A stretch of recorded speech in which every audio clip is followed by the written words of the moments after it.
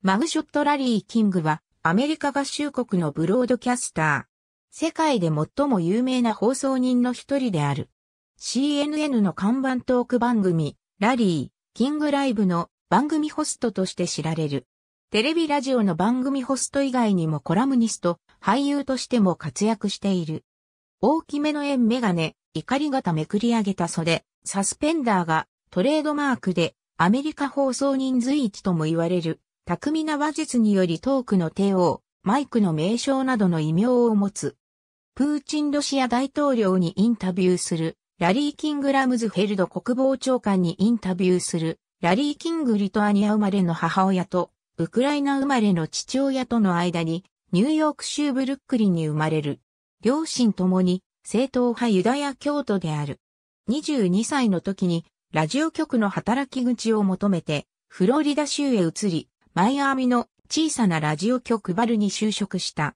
当初は雑用係として雇われていたが、アナウンサーに欠員が発生したため、1957年5月1日に初めて番組のディスクジョッキーを務めた。その後、同局のゼネラルマネージャーであったマーシャル・シモンズから本名のスペルが間違えやすく、名前の響きもエスニックすぎて覚えにくいと指摘された。初日のラジオショーの開始時間の5分前に関わらず、名前が決まらず悪戦苦闘して、近くにあった雑誌やチラシを見ていたら、マイアミヘラルドに織り込まれた、キングスホールセールリカーというチラシが目についたことをきっかけに、芸名をラリー・キングに改名した。ニュース専門 AM ラジオ局は宿で、マイアミビーチのレストランを舞台にしたインタビュー番組を開始。来店客などにインタビューしていたが、番組開始から2日後、コンサートを終えて、レストランに来店した当時のアイドルスターであったボビー・ダーリンへのインタビューが初のセレブリティへのインタビューとなった。マイアミのラジオ番組は評判となり、1960年に ABC ネットワーク参加、フォートローダーデールの地元テレビ局 WPLG で討論番組マイアミアンダーカバーのホストを務め、今日の礎を築いた。ところが、金融取引に関係した不祥事で1971年12月20日に逮捕され3年間放送の世界から遠ざかっている。この間、ルイジアナ州のレース場で PR ディレクターを務めたり、エスクアイア氏にスポーツ記事を書く等の仕事をしている。その後、ワイヤードに再雇用されて、ラジオ界に復帰。1978年からは、共同放送システムにて、全米ネットで放送された夜のトークショー番組、ラリー、キングショーを担当し、全米規模で知られる存在になった。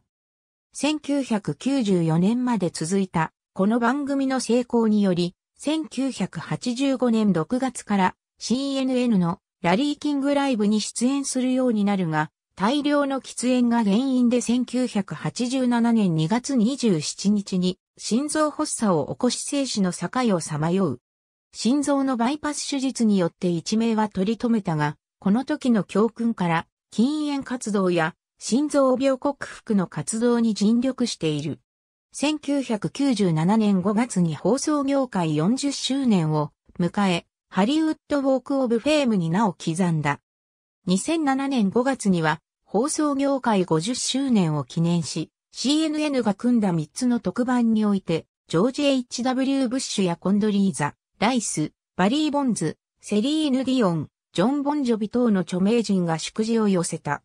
2010年6月29日、ラリー・キングライブが年内に終了することを発表。12月16日、25年続いた番組の歴史にピリオドを打った。家族とより多くの時間を過ごすため終了を決意したという。今後も CNN で特別番組などの司会活動は継続する予定である。2017年には肺の悪性腫瘍を摘出する手術を受けた。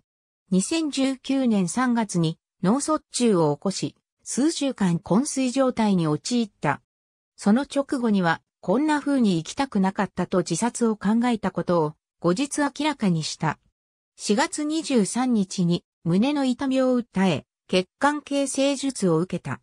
2021年1月1日、新型コロナウイルスに感染し、ロサンゼルス市内の病院に10日間入院していることが明かされた。同月23日、死去した。87歳没。キングは8度結婚しており、5人の子供と9人の孫と4人のひ孫がいた。2020年8月23日、数週間以内に息子のアンディを心臓麻痺で、娘のチャイヤを肺がんで亡くしたことを自身のインスタグラムで発表した。俳優として出演した主な作品。ただし、カメオ出演のようなものが多い。ありがとうございます。